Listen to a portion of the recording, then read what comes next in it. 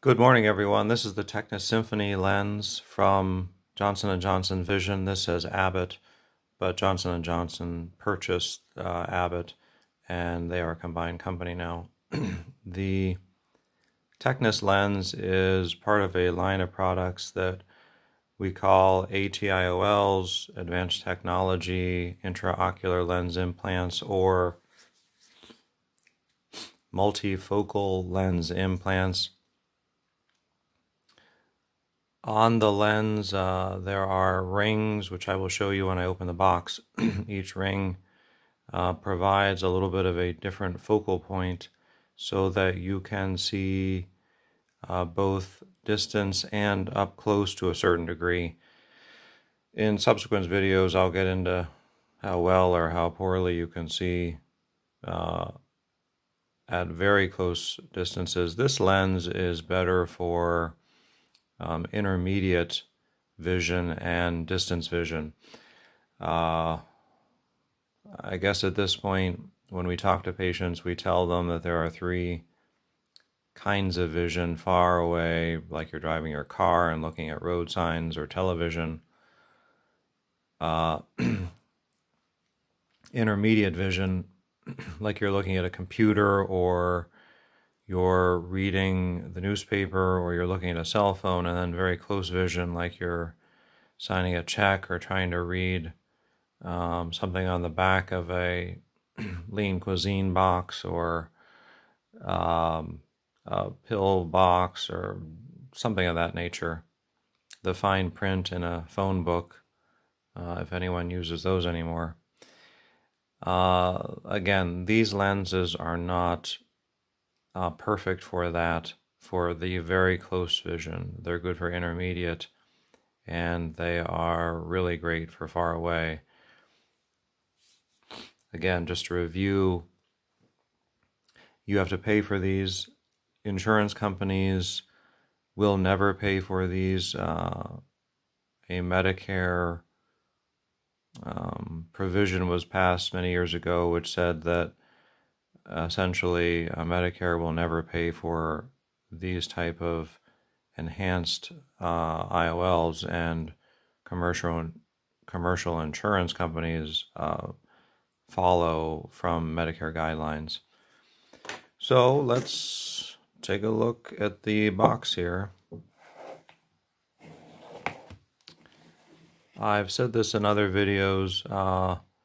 These are the specifics. Uh, when you talk about a Tecnis Symfony, the um, the trade designation is ZXRU, ZXR double zero. Uh, again, these lenses are made in the Netherlands. Interesting. Uh, the dioptrage is the power of the lens that goes in your body, and that's um, these lenses aren't made custom for you, but we have a wide, wide range of powers. And when you do your preoperative testing, um, that's how we determine that. Again, the A constant is the quality uh, or the type of refractive power that the material that these particular lenses are made out of.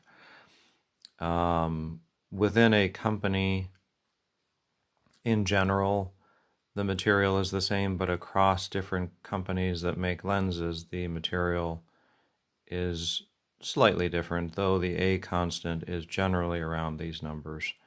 And the diameters and such are fairly standardized now. They used to be quite variable, but they're fairly standardized. Let's open this up.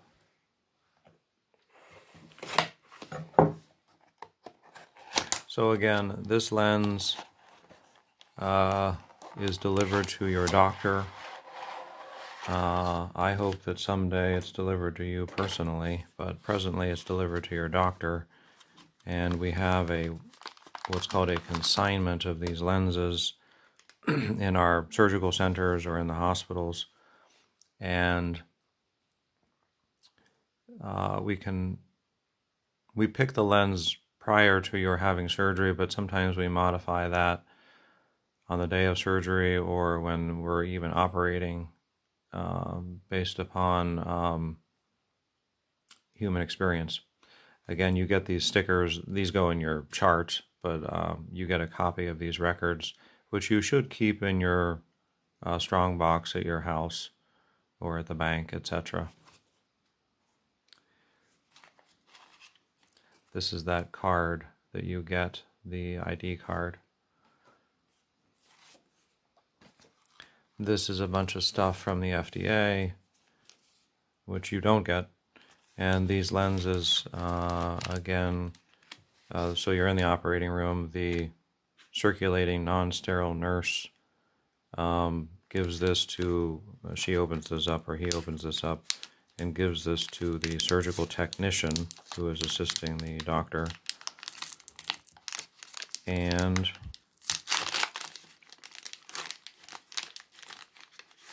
The inside part of this is uh, sterile. And so the surgical technician will take this part and prepare that for the ophthalmologist. Sorry, I'm struggling a little bit here. It's I'm working around the camera. So again, everything is identified when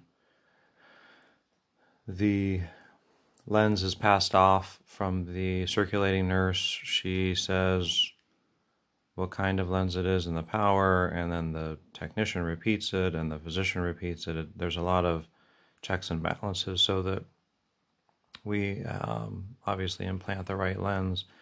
These little uh, lens things from J&J are interesting. They turn and this opens up and the lens is inside. I'm going to change uh, positions of this camera and uh, I'll show you the lens. Okay, so we're back. So this is what the lens looks like. Um, these lenses, all lenses, are all lenses of this type, this is considered to be a one-piece lens. This is one per, uh, complete um, piece of uh, plastic. Um, this is the modern way to make lenses. Um, there used to be three-piece lenses. I'll show you one of those in another video, which we use occasionally, not so much anymore. Um, are these better? Um, they're probably a little bit easier to use, um, but the visual effect or the vision obtained um, from a three piece versus a one piece, there is no difference in that. Uh, it's just probably easier for the uh, usage of it. Um, they're a little bit smushy, so you can see they're kind of like sticky and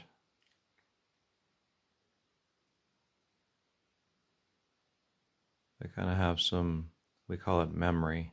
It takes them a while to find their spot. That's what makes them a little bit easier to use. This is also what's called a hydrophobic lens. Um, there are hydrophilic lenses, which I'll show you a couple of those at some point. Again, largely immaterial, that sort of uh, nerdy stuff for doctors. You can see uh, how that magnifies the letters. That's what it does in your eye. This is a convex lens. It's a condensing lens. It's a plus lens that goes in your eye. Uh, again, very difficult to see, but there's little rings on here that um, provide the uh, near power that I was describing earlier. Uh, by the way, this is how the lens uh, sits in your eye. These little guys here are called haptics, and this is called the optic, and this is the orientation of the lens in your eye. Um, as a size comparison, that's my pinky.